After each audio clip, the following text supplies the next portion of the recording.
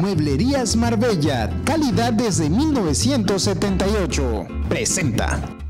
Bien, y en más información, fíjese que exigen colonos de la colonia Alameda reparación del cárcamo y es que amenazan con cerrar la carretera federal, esto para que sean escuchados. Tras cerca de 20 días que el agua de los drenajes se ha mantenido estancada al interior de varias viviendas de la colonia Alameda, los colonos extendieron nuevamente el llamado a las autoridades del CEAS y al gobierno del estado para que sean atendidos y hagan algo al respecto, pues el cárcamo de la colonia ya no funciona y a pesar de que según señalan han acudido a todas las instancias para solicitarlo de manera protocolaria, no han obtenido respuesta alguna.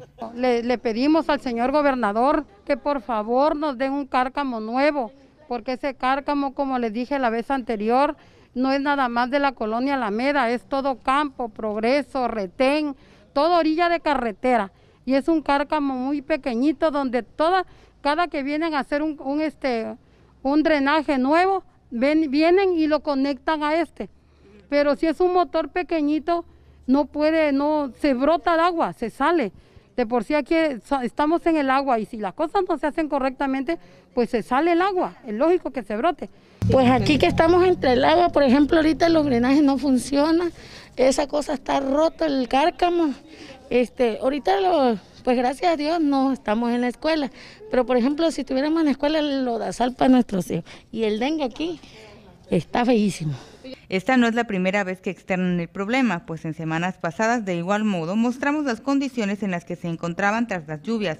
No obstante, por la vía pacífica no han obtenido ninguna respuesta, por lo que amenazaron con cerrar la carretera federal, pues dicen al parecer es la única forma en la que serán volteados a ver. Esos, esos del Cárcamo ahí está horrible. La verdad, verdad, sí, a nosotros porque yo vivo ahí en ese lado, se llena horrible, se pasa el agua todo arriba la verdad que nosotros pedimos que, que nos apoyen pues con eso y, y es una necesidad pues porque la verdad nosotros nos vamos, todos estos días que estuvimos lloviendo aquí, todo el agua para adentro se fue a mi casa. Se echaron a perder mis cosas, pero ni modo. Es agua de cárcamo.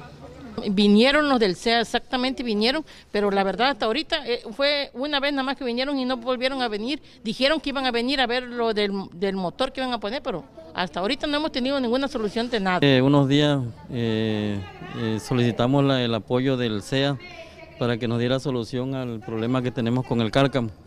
Hasta el momento no hemos tenido ninguna respuesta. Nosotros estamos solicitando que nos rehabiliten o hagan de nuevo el cárcamo que metan unas bombas con mayor capacidad, ya que las que se tienen hasta el momento son bombas muy pequeñas, que son insuficientes para la colonia, ya que hasta el momento la colonia ha crecido bastante. Tenemos problemas con algunas personas del otro lado de aquí de la colonia que han sufrido muchos problemas de inundación. A causa de ese problema de la inundación, ellos han abierto aquí, si ya checaron ahí una, un, un boquete, podríamos decirle, hay una zanja que viene a caer toda esa agua la parte del cárcamo, inundando toda esta parte, toda esta área de aquí donde están todos los vecinos, creando un mayor problema. Los habitantes puntualizaron que en lo que respecta al gobierno del estado y al CEAS han sido muy irresponsables e ignoran el clamor de la ciudadanía, ya que han sido indolentes de la desgracia que aqueja a los ciudadanos que se encuentran viviendo entre aguas negras, mencionando que entre ellos hay niños, ancianos y personas enfermas de diabetes y cáncer, quienes deben seguir viviendo literalmente entre aguas negras. Bueno, la problemática es que la verdad nosotros tenemos ya 20 días entre el agua y no, no hemos tenido ninguna clase de ayuda. La verdad el cárcamo no sirve, nos dijeron que van a venir a poner este, un motor, pero hasta ahorita no, no ha habido ninguna respuesta de nada. Mire, yo a mis pies los tengo bien malos ya de que me picó un animal, quién sabe qué pasó. Y la verdad, pues ayer ya me querían dejar hasta internada para rajarme mi pie y eso, pues no, de nada me sirve. Yo como le dije a la doctora, doctora, si yo de todo modo voy otra vez al agua, ¿para qué me, para qué me van a operar el pie? Este, mi problema es lo del agua, este, la inundación del agua que hubo ahora. Este, pues, en primer lugar, esa agua está pestosa, muy infectada, perjudica a los niños más que nada, a la gente de la tercera edad que están sufriendo ahorita las inclemencias de sus pies que están ya se les están pudriendo, ¿verdad?